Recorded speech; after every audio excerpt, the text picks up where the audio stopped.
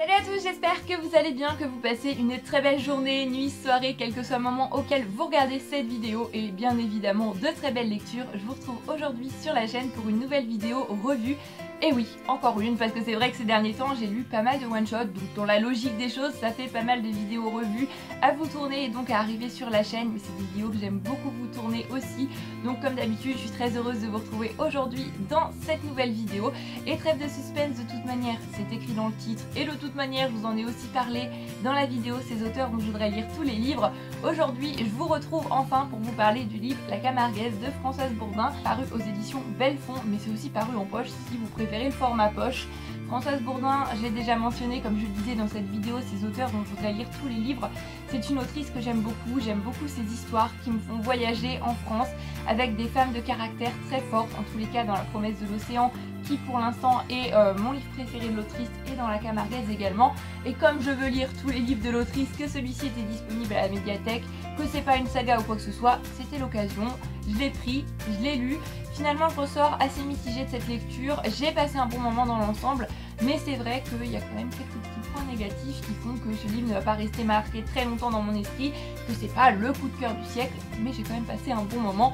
Avant de vous parler des points positifs, des points négatifs, je vais quand même vous lire la quatrième de couverture comme d'habitude, parce que ce serait plus sympa de savoir de quoi ça parle. À la mort de François Valence, sa petite fille Jordan a repris en main le biloba, la bastide familiale située en plein cœur de la Camargue.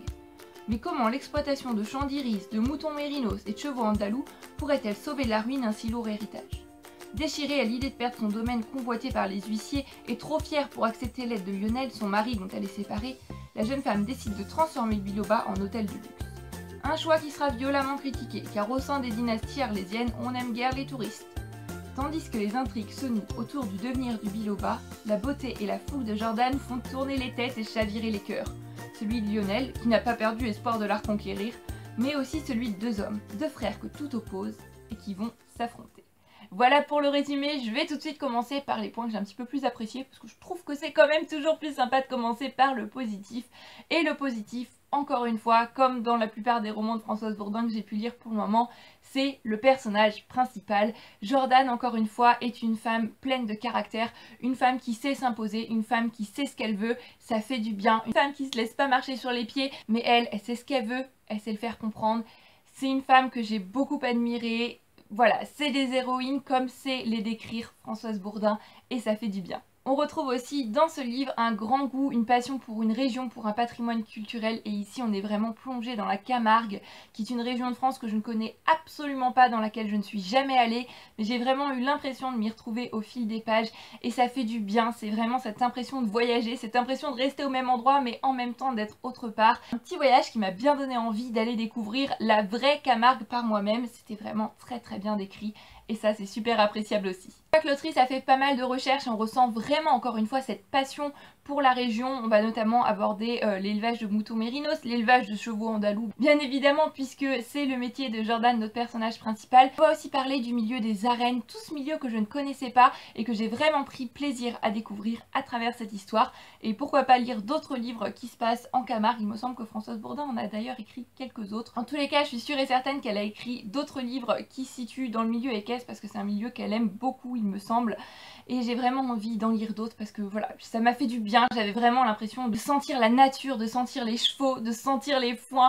Et c'était top. Il y a aussi eu des moments qui m'ont beaucoup touché dans ce livre, j'ai beaucoup aimé l'histoire dans son ensemble, donc tout ça c'est ce qui fait que j'ai vraiment passé un bon moment avec cette lecture, mais comme je disais tout à l'heure, finalement, oh, j'en ressors un petit peu mitigée parce qu'il y a des points que j'ai un petit peu moins appréciés, et surtout un gros point noir, enfin trois gros points noirs pour être plus juste, les personnages masculins.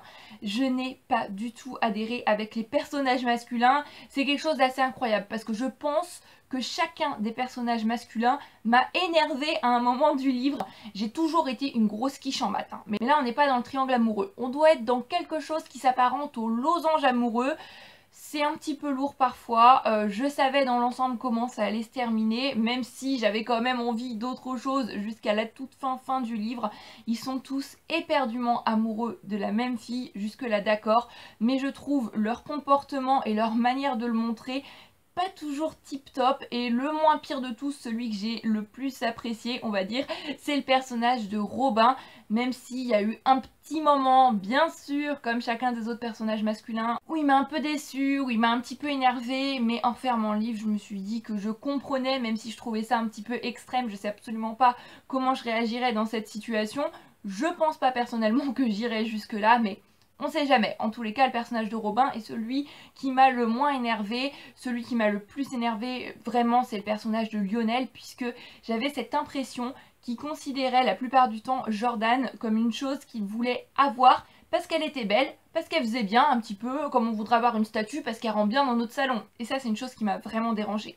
Et le comportement de l'autre personnage masculin, je ferai pas de commentaires là-dessus. J'ai pas trouvé que c'était tip top non plus voilà, j'ai pas adhéré avec les personnages masculins. Donc l'intrigue amoureuse, bah, j'étais moins dedans parce que finalement je trouvais le choix assez difficile. Et le choix était pas difficile parce qu'ils étaient tous très bien, parce qu'ils étaient tous au top, parce qu'ils avaient tous un avantage, mais parce que moi j'aurais choisi en fait le moins pire, le moins extrême, je sais pas, il y a vraiment quelque chose qui m'a dérangé avec les personnages masculins. Autant les personnages féminins étaient admirables, étaient vraiment bien présentés, étaient vraiment top, chacun d'entre eux. Mais les personnages masculins, j'ai moins pas apprécié. Et pour revenir au personnage de Jordan, comme je disais, c'est une femme que j'ai beaucoup admirée, que j'ai beaucoup appréciée, mais ça va être dur de vous en parler sans vous spoiler. Euh, il y a certaines habitudes qu'elle va garder, certaines choses qu'elle va faire jusqu'à la toute fin du roman. Et au vu d'un événement qui va se passer, là je peux rien vous dire parce que ce serait super super spoilant. Là, au moment où je vous tourne cette vidéo, c'est vraiment un moment extra frustrant parce que j'ai vraiment envie d'en parler, mais je ne peux pas bien évidemment parce que ce serait vous spoiler. Voilà, c'est rien de bien grave, mais moi ça m'a un petit peu dérangé. Tous ces petits points mis bout à bout font que même si j'ai passé un bon moment de lecture, c'est pas un coup de cœur, mais il n'empêche que je lirai d'autres livres de Françoise Bourdin avec grand plaisir, puisque de toute façon, vous le savez maintenant, elle fait partie de ces auteurs dont je voudrais lire tous les livres, et je sais qu'en prenant un livre de Françoise Bourdin, ça va toujours être un voyage la plupart du temps en France. Un voyage quand même. Et un voyage, ça fait toujours du bien, ça change un petit peu les idées même si c'est à travers les pages d'un livre. Et j'ai beaucoup aimé retrouver la plume et retrouver l'écriture de Françoise Bourdin. Voilà, j'en ai terminé pour cette vidéo revue, j'espère qu'elle vous aura plu comme d'habitude. En attendant la prochaine vidéo, je vous fais à tous plein de bisous. Je vous souhaite bien évidemment de très belles lectures et une très belle journée, nuit, soirée, quel que soit le moment auquel vous regardez cette vidéo. Et je vous dis à très bientôt sur la chaîne Booktube pour une nouvelle vidéo. Prenez grand soin de vous. Bye bye